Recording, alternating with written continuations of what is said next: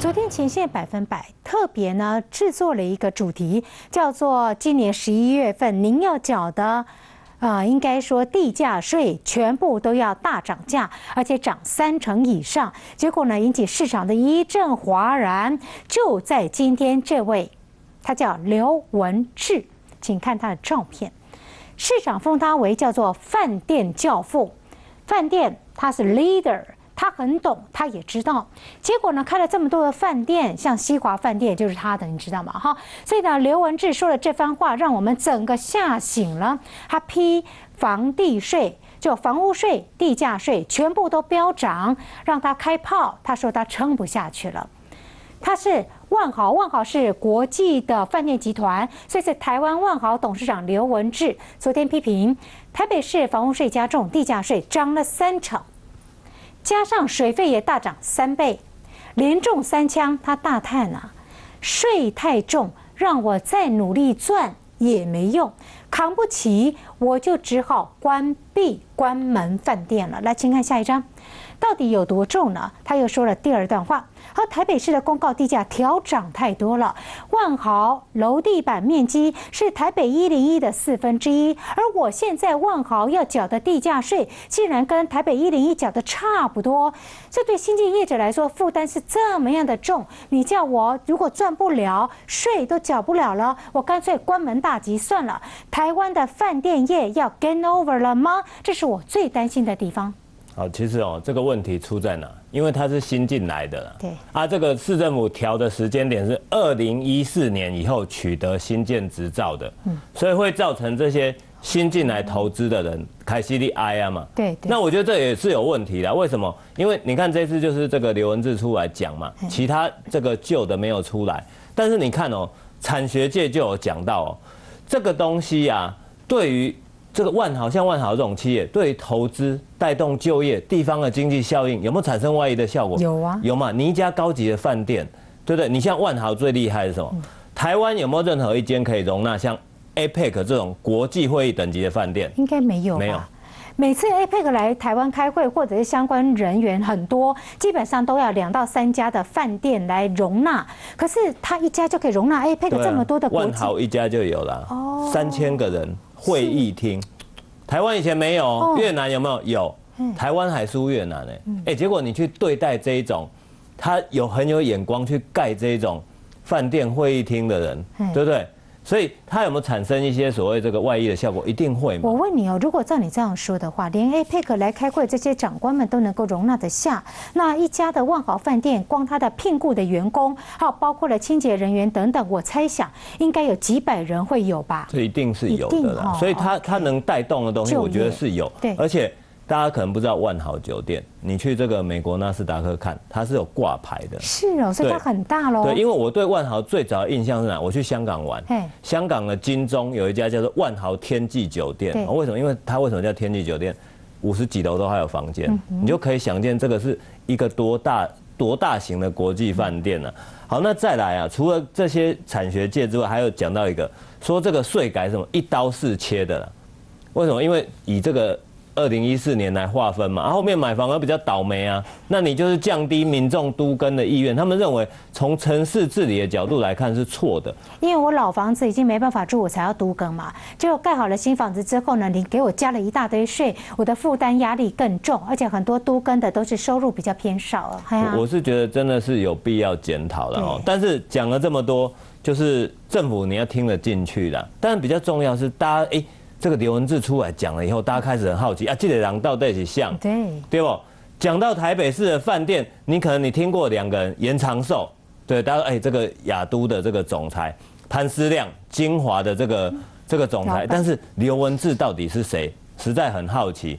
好，这个西华饭店哈，如果你有经过，它在民生东路上，在这个敦化跟这个复兴的中间，哦，它是这个在那边。那这家西华饭店就是刘文志创立的，那他也投资了万豪酒店。这个人呢很有生意头脑，很会做生意。年轻的时候，我记得他的故事是这样：年轻的时候，他听到人家跟他聊天说：“哎，这个台湾的很多 Hiroki，就是我们讲那个快木，哦，快木外销到日本，日本人很爱。哦，那刘文志知道之后，哎，我来做这个生意试试看哈。于是他就去宜兰找，哦，找这些，因为宜兰那边这个山上有，找这些东西外销到日本，哎，开始赚钱。另外，台湾最早帮艾迪达代工了。就是刘文志的公司，在一九七零年，他还比宝成早哦。宝成的单还是刘文志在转给他们代工的，眼光很精准。对，他很精准。那也因为一九七零年他帮艾迪达代工之后，才开启了他现在在开饭店的人生。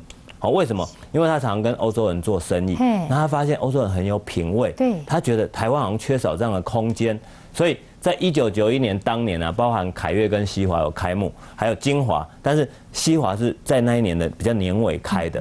好，那西华开了以后，其实也造成蛮多轰动，这等下再讲哦。那在这个，在这个刘文志哦，先前在两千零一年的时候，有人形容他什么？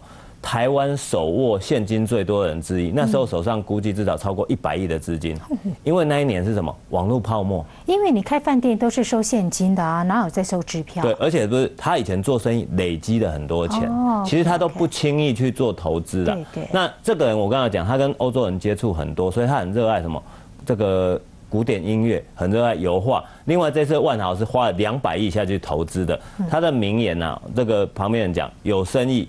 不赚钱他就不做，哦，做生意不赚钱不做，有十块钱我只做五块钱的生意，其实算是比较保守，但却又很成功的。但是有十块钱只做五块钱的生意这一点哈，跟他的个性跟坚持有关系。朱兰姐讲的完全没错，为什么？因为西华饭店它有很指标性的意义。第一个，它开业的地点外商非常的多，为什么它开在那里？它就是要服务他认为比较高层次、比较类似像白领阶级的人呐。那再来，他是过去台湾人投资五星级饭店的一个代表。哦，先前要开业之前，他去礼聘了这个半岛酒店退休的这个总经理当他的顾问。而且你不要忘了，第一个请米其林三星主厨来台湾的，就是西华饭店。哇，对对对，所以你看他是蛮有前瞻性的。而且西华之前呢，很多政商名流都是指定入住，包含英国的柴契尔夫人。老布希总统，甚至像郭富城、周润发这些，哎，来台湾住哪？我一定要住西华。你不讲我还不知道哎，我以为是住其他金华。所以，所以你说嘛，这个在为什么一家台湾饭店，连柴契尔夫人跟老布希都要指定入住，就表示他在里面的一个位置。嗯。那另外在之前，为什么我们说他很有品味？你看，不惜血本全球寻访名画，在饭店里面每一幅画都是不一样的。之前开幕的时候，天天有人在饭店照相，连地板都不不放过。你知道为什么？挂名画在饭店，不怕被破坏呀？对，这个这个就是人家愿意去投资嘛。因为你住在那儿的人，对啊，所以你说陆客一堆啊，在那边，哎呀，怎么在那边尿尿啊？哎 呀，怎么，对不对？就会有这种问题嘛？对对对，啊不，嗯，这个叫小孩子不要乱跑哦。所以另外一个是说，过去台湾很很流行大理石的这个这个装潢嘛。你看人家大理石么？台湾买不到，它是设计好，意大利切完来台湾装的，好，所以整个都显示出这个刘文志为什么他是饭店教父的这个风格。一个企业经营如果要做得长远，而且做得好，其实用不用心太重要了。但结论我还是要个答案了哈，因为刘文志批的依旧是现在已经涨价的地价税，即将涨的大涨的房屋税，那会不会真的让台湾的饭店业？over 掉呢，整个就熄灯了。新进的一定 over 了，糟糕。旧的还是活得下去的，为什么？因为旧的不适用新的税率嘛。所以这个就是政府要去解决他们困难的问题。确实，所以有些税负在拟定的同时，哈，应该要多个层面思考了。就好像我们在看台股是相同的，走上面面俱到，帮您瞻前又顾后喽。下个礼拜呢？好。八月啊，很关键哈，欧美股市啊面临八十九个月的关键变盘转折，好，这是最重要的哈，所以啊。啊，八月啊，你要严防外来的冲击，好，就欧美股市风吹草动，你要特别小心。所以当然连当是外资了哈。第三呢，台股长多确立，它的移动平均线是多头排列，这是很难得的。那短线呢是在整理，哈，就是这个礼拜是整理。那波段的目标九千五，好，下档好强力支撑大概在八千五百点。那你为了要避这个不确定风险，你可以转进低基期的个股以测安全，啊，大概能做的是这样。好，感谢炫哥了。第一句话，他说，欧美面临到八十九周的重要的转折。的确，今天晚上的欧美股哦，有点焦灼。虽然稳在盘上，但是稳吗？锁定待会的。深夜新闻，感谢收看，祝您晚安。